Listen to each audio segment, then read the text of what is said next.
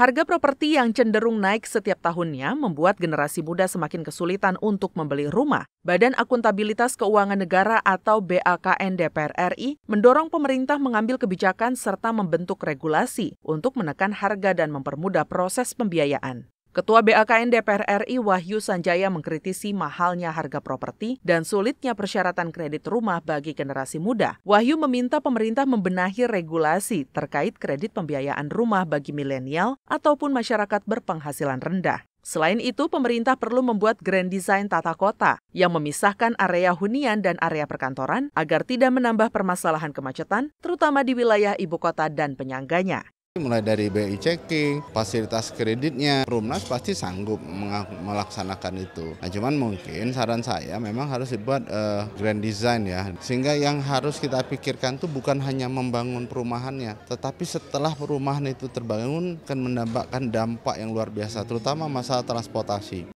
Lebih lanjut, Miss Bakun menyebut pemerintah seharusnya hadir dengan berbagai insentif untuk menyediakan hunian yang terjangkau bagi generasi muda. Pemerintah juga harus mengupayakan penyediaan lahan yang murah, misalnya dengan mengalokasikan lahan milik negara komponen paling mahal itu apa sih? Tanah. Kalau tanahnya bisa merupakan dari penyertaan negara yang berasal dari sita dari zaman eh, BLBI dulu yang harganya masih murah, kenapa nggak diberikan? Kemudian dibuat mekanisme yang harganya terjangkau. Generasi-generasi milenial ini kan adalah generasi baru kita yang juga harus diberikan hak dan kesetaraan untuk bisa mendapatkan akses perumahan, tentunya rumah yang terjangkau, bisa mendapatkan akses pembiayaan. Dari Jawa Barat, Dadi Ramadan, TVR Parlemen melaporkan.